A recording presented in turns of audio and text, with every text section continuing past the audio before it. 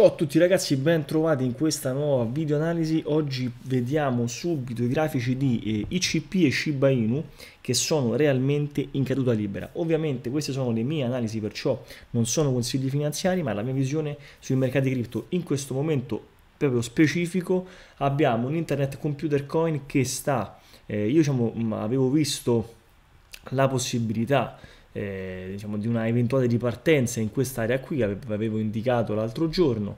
Questa resistenza però non è stata rotta a rialzo, anzi è stata ben sentita per poi riprendere la corsa a ribasso. Rotto anche il supporto che ha provato a tenere ma invece non c'è stato nulla da fare e quindi abbiamo di fronte a noi un trend fortemente ribassista su ICP. Questo cosa vuol dire? Ecco, io ho già letto commenti di alcuni di voi dicendo e io comunque sono entrato, ho comprato a prescindere perché è un bel progetto, c'è comunque margine. Allora, ragazzi, queste sono tutte belle chiacchiere.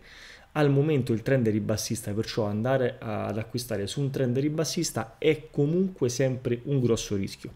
Cosa importante quando facciamo un certo tipo di, eh, diciamo, di discorso sulle cripto è quello di seguire il trend, quindi lavorare bene con il trend perché praticamente è la cosa più importante per non farsi male. Quindi mi raccomando, cerchiamo sempre di essere il più possibile oggettivi quando siamo sui mercati. Poi altra cripto molto eh, diciamo, discussa in questi giorni, allora è Shiba Inu, che tanti mi hanno detto eh no perché sai, no perché sai, no perché sai, eh, e praticamente Shiba Inu continua a scendere, il trend era ribassista, ve lo zoom di nuovo, c'erano queste zone che io reputavo molto importanti, non sono state per niente eh, superate e di conseguenza Shiba Inu continua a perdere punti percentuali. Quindi eh, se mm, qualcuno di voi non fosse in accordo con me, eh, beh, mi dispiace perché io non parlo con le mie idee, ma io parlo da ciò, ciò che il grafico mi mostra. Quindi se io avessi visto uno Shiba Inu in ripartenza,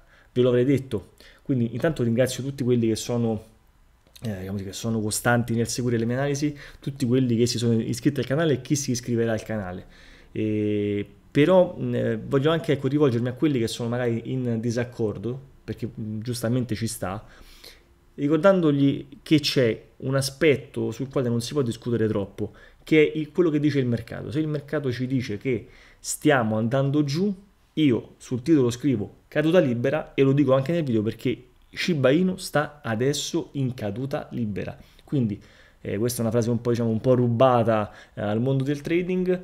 Eh, prendere un coltello che sta cadendo può senza dubbio crearci più problemi eh, in quanto potrebbe tagliarci. In questo caso Shiba Inu è un grosso rischio, quindi investire o comunque acquistare Shiba Inu è un grosso rischio. Aspettiamo che ci sia una reale inversione. Al momento non c'è stata, perciò nulla da aggiungere. Insomma, iscrivetevi al canale, ci vediamo poi martedì per la diretta delle 6 e mezza, ormai appuntamento consueto, quindi vi voglio belli presenti, carichi e partecipi perché vedremo le vostre cripto preferite. Ciao e buona domenica!